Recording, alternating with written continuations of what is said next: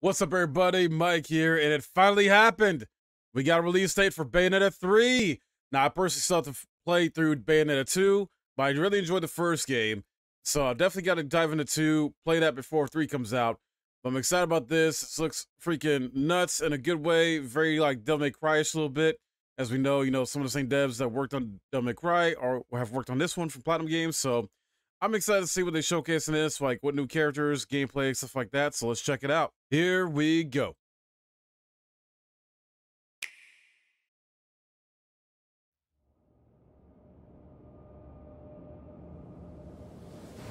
Statue of Liberty there. More new faces, I see. Weird new enemies, I guess. Oh yeah, going off with the bullet hell type of gameplay mechanics she's known for with her, all her guns. You mean those weren't your playmates? Those Doing it all fancy. Or infernal. They're locals. Hey, he's back. Wow, he's back too. Is this a new guy? It's a bit of fancy dress Oh, my. is in order. Wow. All right, this is uh, potentially I guess something new, a new power she has. I don't know. Maybe she had it in part two. Like I said, I still gotta beat that one. They'll get their hands on enough power. What the hell? That's gotta be a new power. Trinity in a snap. Oh my god. Thank you, Professor.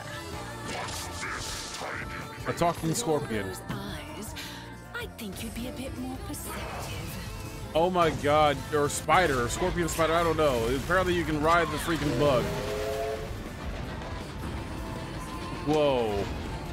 I believe you two have already met. Let's go. This world is under my protection. Oh wow. That looks insane. Ooh, what They're the? homunculi. Homunculi. Bioweapons. But this isn't Full Metal Alchemist. If we don't stop them, this world is history. And reality as we know it gets wiped out for good. Wait, is this a new character? And what do you expect us to do? I want you to find a scientist named Sigurd. He's somewhere in this world, and he can help us. Uh, cool. So we play as a new character as well? Do you know a girl named Viola? She said All where to find you. I believe I know why you're here. You're looking for a way to the Alphaverse. Have we met before? I wonder if this is gonna be locked at 60 FPS because this is looking pretty good. Someone seems very interested in our arrival. Is it him? Lesson one. Carelessness Jesus, cutting through bullets, split them in half? My name is Viola. Viola. Oh. One one of the best things about this game, series franchise, it makes you feel powerful. It's one of the few games that's like great out there that makes you feel powerful. Wait, 28? It said 10 before, so is it, October 28? Oh my. Oh my. Godzilla demon looking thing. Uh, alright. I'm pumped. 10 28 October. Yes, let's go. Let's go, baby. Oh my.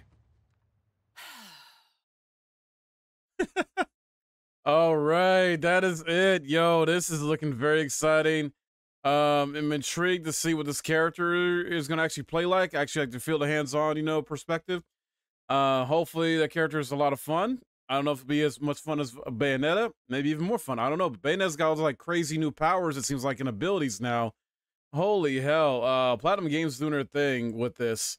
I love it. Uh, man, this adds another game I got to get this year. Then to the list and stream for you guys. So yeah, hope you guys enjoyed this as well too. I'm excited. Let me know your thoughts in the comments below. Please drop a like, subscribe if you're new, and hit the bell for notifications if you want more videos like this in the future. And I'm looking forward to playing this. I hope you are too.